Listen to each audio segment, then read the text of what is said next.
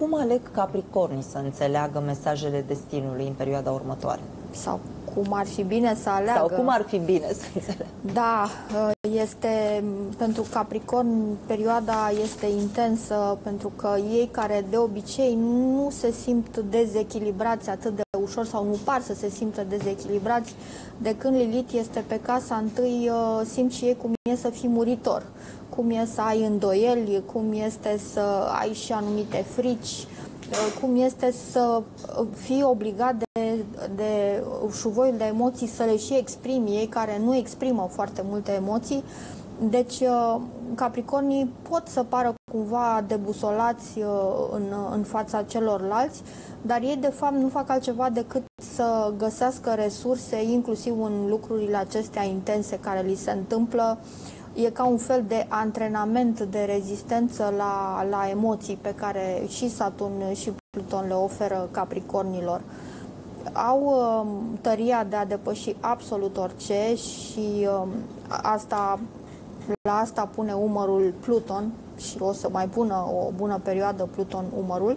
dar să nu uităm pe Saturn care este la el acasă. El practic le aduce aminte capricornilor de câte lucruri extraordinare sunt în stare dacă, dacă le iau pe rând sau cum uh, se spune în popor, dacă le iau bătrânește, dacă nu se grăbesc. În, aceeași, uh, în același timp și Marte se va întoarce în, uh, în Capricorn, el acolo fiind în exaltare, venind cu un plus de, de energie, um, va trebui să fim atenți cu toții uh, ce se poate întâmpla în viețile capricornilor, ce transformări, ce decizii vor lua, iar la nivel planetar, uh, ce lucruri uh, neașteptate Marte acesta poate aduce, inclusiv în, în politică, pentru că până la urmă asta probabil că va aduce Marte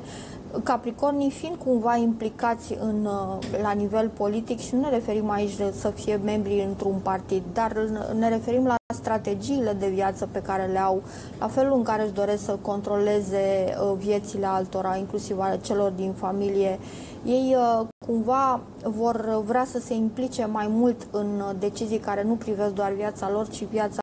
celor din jur. Atenție totuși la riscurile la care încă îi supune Marte acesta din casa a doua. Sunt tentați să facă anumite investiții, să gândească lucrurile într-un anumit fel, cum, așa cum au mai făcut-o și să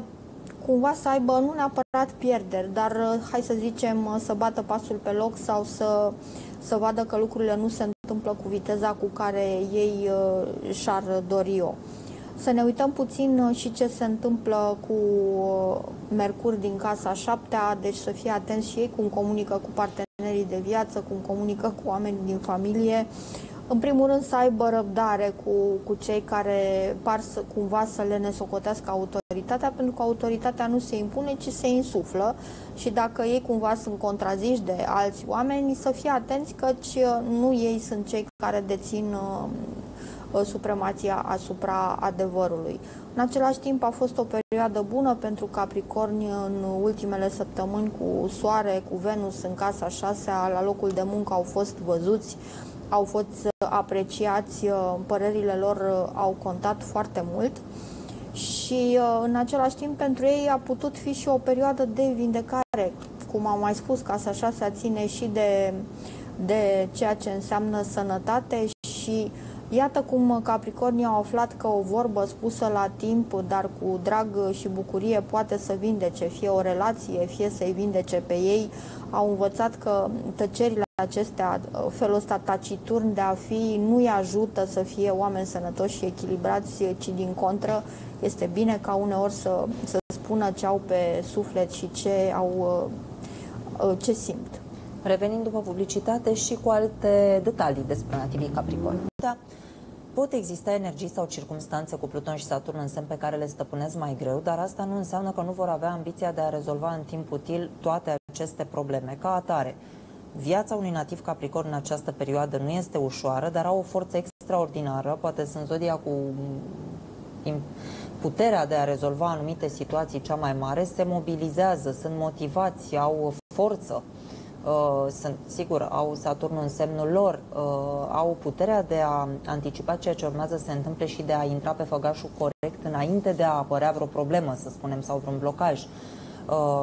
își pot uh, intui exact uh, zona în care sunt căutați, în care talentul sau harul lor este foarte solicitat și se ducă exact, uh, practic rezolvă exact problema care trebuie rezolvată, exact problema care este pusă pe tablă de către uh, profesori, își înțeleg adevărata valoare, se pun la adevărata lor valoare, uh, iau hotărâri fără echivoc, sunt foarte, spuneam, foarte determinați. Dacă în anumite proiecte au avansat mai lent până acum sau au pierdut momentul oportun pentru schimbare, iată, acum a venit momentul pentru nativii Capricorn de a acționa atât de repede încât, practic, ceilalți nici n-au timp să se dezmeticească. Deci veștile sunt foarte bune pentru aceștia și chiar îi sfătuim să rămână pe direcția aceasta. Mergem mai departe pentru vărsători, să vedem care sunt veștile. Vărsătorii, ei